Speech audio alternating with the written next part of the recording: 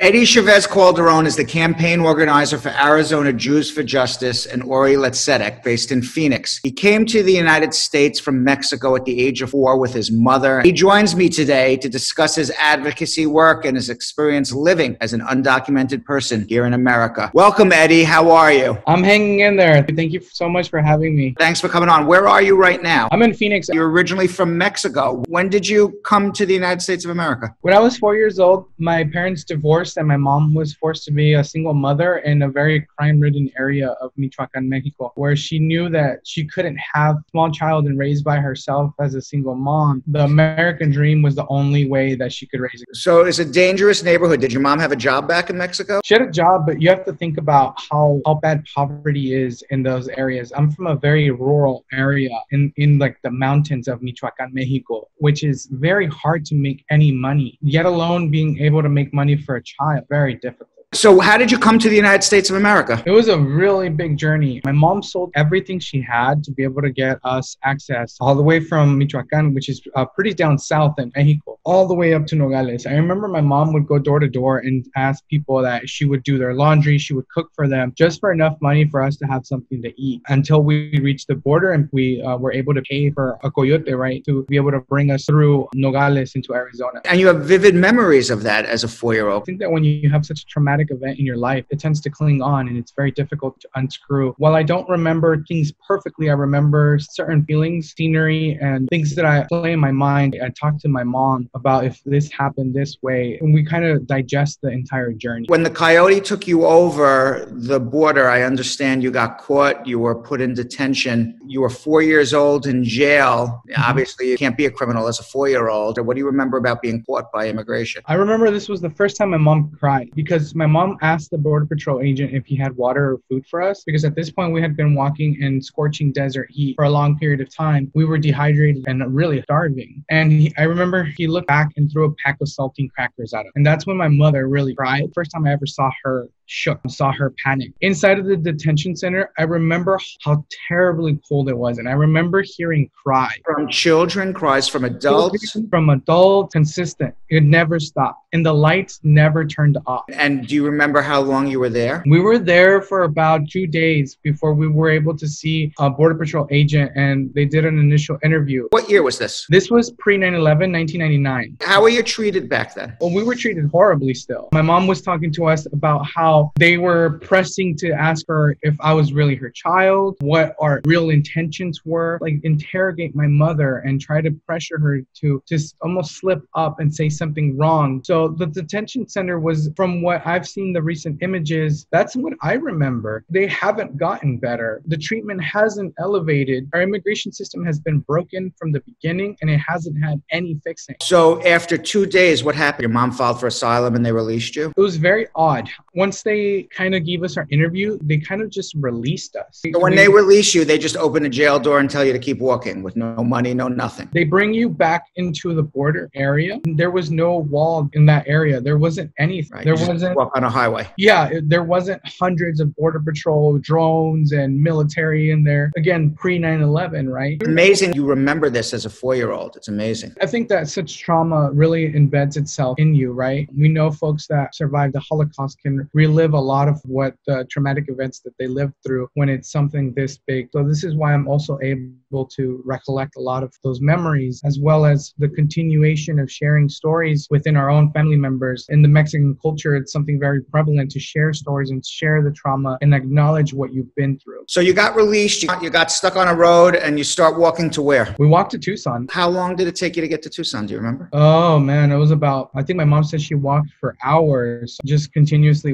Your mom mom set herself up in Tucson with, with a child? The first thing we did was called her family and let her know that we were okay. We arrived in a Burger King where it was the first time I was able to have an American meal where I had a burger for the first time in my life. Somebody gave me the kids' meal, so it had a little toy in it. I remember thinking that I stole something and I, I tried to give it back, but the lady was telling us, like, no, this is yours, it's free. And th- that was the first time I felt joy in the United States of, of getting a free toy. And when did you realize you were undocumented? Because you got released, I assume, as a four year old. You think, okay, everything's good now. That's a great question. I think for a lot of people, undocumented community, our families shield us and they try to make us live as normal as possible. Every day I woke up and I said the Pledge of Allegiance. I went to school. I did everything that every normal American child would do. It wasn't really until we would have to identify certain paperwork that things got a little shift where my mom would say, Oh, we don't have that, or we don't have paper. And you shouldn't tell people that we don't have papers. But for me, the biggest realization that I was fully undocumented was in high school when I couldn't get specific scholarships because I didn't have a social security. When I couldn't get a license when everybody else was getting their driver's license, I couldn't get it. That's a huge blow specifically when you're a teenager, when you're growing into yourself, you're identifying your freedoms, who you are, who you will be. And for a lot of thousands of undocumented people, we have this roadblock in front of us that reminds us consistently that we are other. I understand now your mom's doing well. She has a home in Colorado. How did she make it here? My mom's a fighter. She worked so many jobs. And I remember when I was going to school, she worked on one time up to three jobs where she would get up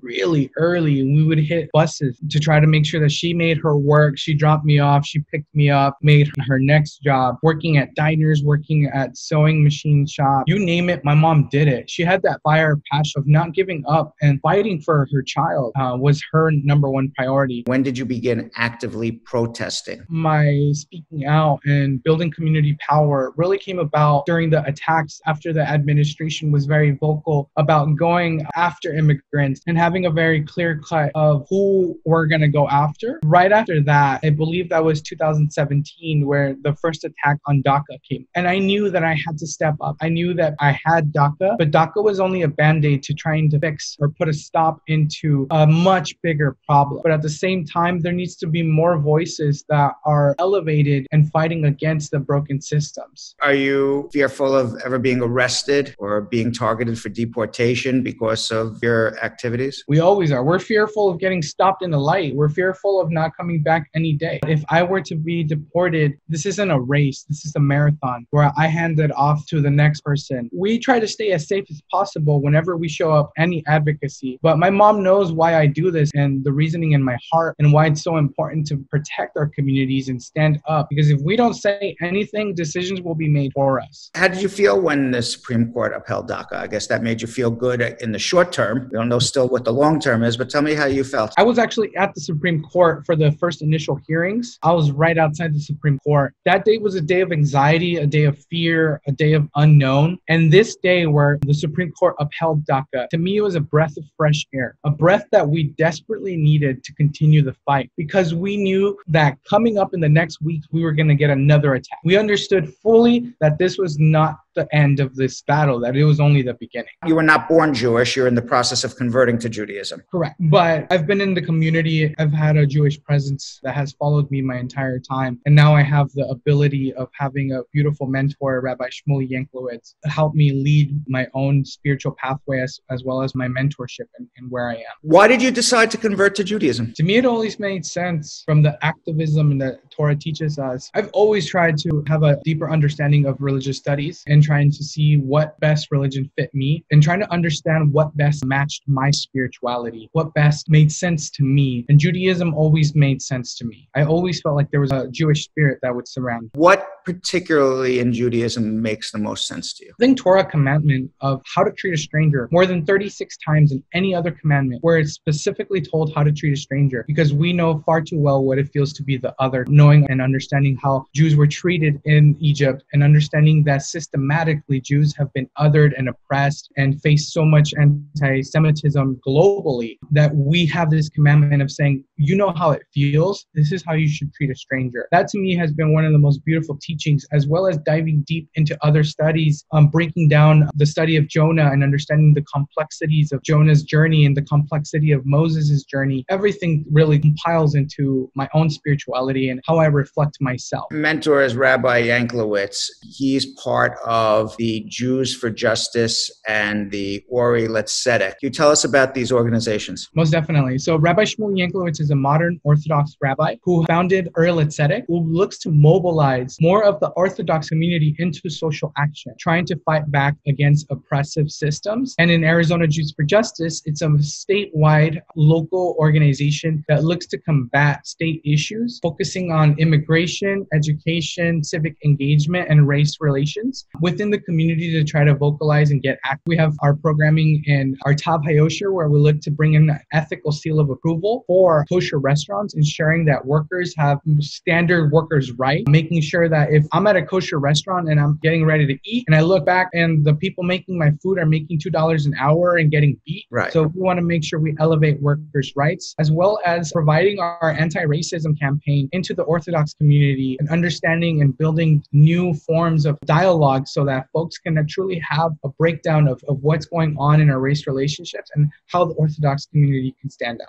So, what was the first campaign you worked on? The very running with our feet starting was during the asylum seeker crisis, Uh-huh. where we helped over 40,000 asylum seekers were released here in Phoenix. And that was Arizona Jews for Justice. And I understand you provided them with food, clothing, shelter, and some of them were very sick. They needed medical care too. Correct. Uri L'Tzedek has a group all over the United States. So we would call in volunteers who were in New York, who were in Pennsylvania, New Jersey, so that we would make sure that we had their travel plans from Phoenix to wherever they were going. Because a lot of folks were going to the East Coast. Part of what Arizona Jews for Justice is doing right now is they're putting pressure on both federal and state leadership to give better medical care in the ICE facilities, you know, because we see so many people leaving there sick, especially now with coronavirus ravaging detention centers. What difference do you feel you guys have made? Our advocacy showed truth to power. We had held protests for months in front of the ICE center here in Phoenix, and we had documented very clearly with doctors and nurses the conditions of folks coming out. We were seeing that folks were coming out with very aggravated late stages of common colds that were turning into much more because they were untreated. We were seeing that sores and cuts were untreated. So we would document along this uh, with our, our group of volunteers, and we were seeing that our advocacy and our pressure was working because folks were coming out more and more healthy to the extent of we weren't seeing folks coming out with these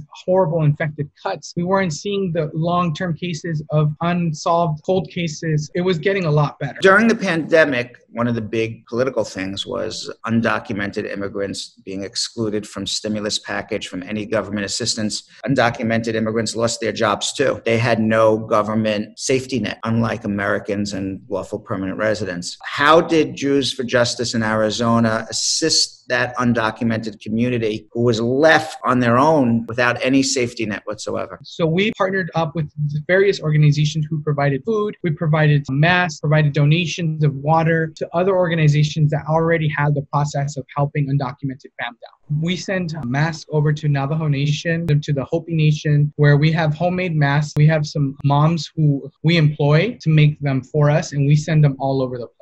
You're involved in some respect with the 10 camps on the Mexican side of the border where asylum seekers are now gathering and they have to wait and sleep there and live there due to the Trump administration's migrant protection protocols. Mm-hmm. What are you seeing there? Are you able to help any of them? We get calls from what they need. During Hanukkah and during Christmas, we sent over 200 toys individually packaged and individually wrapped to children who were in those shelters, as well as having communication with the pastors. What is going on? What do you need? And sending medication over as well. You lived your whole life here undocumented. Came here as a four year old. Uh, mm-hmm. You're in essence as American as me. You sound as American as me. You look as American as me. What do you want Americans who just got lucky to be born on the right side of the border? Basically, it. It was luck to understand about undocumented people like yourself. We're just here to want the dream. We want to make it as bad as you want to make it. We want to grow and we want to elevate our community as much as anybody else here. We want the same pursuit of happiness that everybody else wants. We want to be able to go and pray to whoever we want to pray in the safety net of knowing we can do that raise our children in a place where we don't have to worry about violence or severe poverty, being able to grow in a place where you're able to feel safe. And what would you say to the Americans who say undocumented aliens are taking our jobs? We don't have space in America for them. They're taking up our resources. The United States has a history of growing up in an immigrant rich nation. Immigration is what brings the beauty into this great nation, brings us our melting pot, our diversity of cultures. When you have folks understand understand that if there was a certain pathway to citizenship, an unbroken path to our immigration system, then we would have access to it. We would do it the way that it's, it's supposed meant to be done. But when there is a broken system and when you are fearing for your life, you go to the places where you can see or feel that you have some sort of hope. For folks who don't see that, I see it at, the, at this way. If something dramatically and violent happened in front of your house continuously, you gather up your kids and you move. You move wherever it's safe. You don't think twice about it. You don't think, okay, this is the steps I'm going to take. You just do it because you want to make sure that your family is safe and that you have prosperity and hope to make sure that they don't ever have to relive that. I'm just listening to you and I'm saying to myself, you know what I would say to those people? America is better because you're here in America than in Mexico. We're a better country because you are here, like Thank many, you. many people like yourself. We're a better country because of it. And you benefit this country, which benefits each and every person who lives in this country. And Eddie, we always ask everybody on our show, tell us what your American dream is. For one day, know that I don't have to fear deportation, where I can go out and I have the ability to partake in my civic engagement and vote, where I have the ability to travel, where I can uplift my community and take care of our communities and create a better society that works for everybody. That is my American dream. How can people find out more about Arizona Jews for Justice and Ori L'Tzedek if they want to get involved? Most definitely. Follow us on Facebook, on all the social medias. We are on Instagram, on Facebook. Look up Ori L'Tzedek and Arizona Jews for Justice. Give us a like. Stay in touch with what we do. Eddie Chavez, thank you very much for coming on. Good luck with your work. My personal belief is that it will end up working out for everybody in DACA. You certainly deserve it. You've had a, quite a long journey to where you are today, and I uh, wish you the best of luck in the future. Thanks for coming on. I appreciate you. Thank you.